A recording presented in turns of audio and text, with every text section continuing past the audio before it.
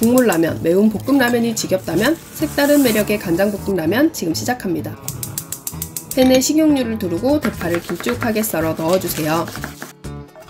양파도 채 썰어 넣고 달달달 볶아줍니다. 당근도 채채채 채 썰어 넣고 볶아주세요. 면을 삶아줄게요. 면은 반 정도만 익혀주세요. 물을 버리고 팬에 부어 살짝 볶아줍니다. 설탕 한 큰술에 한국인의 소울 마늘을 다져 넣어주세요. 간장 3큰술, 물 3큰술 넣고 잘 섞어 준비한 소스를 팬에 부어주세요. 면에 소스가 스며들게 잘 볶아주세요. 불을 끄고 후추 톡톡, 참기름 한 바퀴 둘러주고 잘 섞어주면 색다른 맛이 은근 매력적인 간장볶음 라면 완성!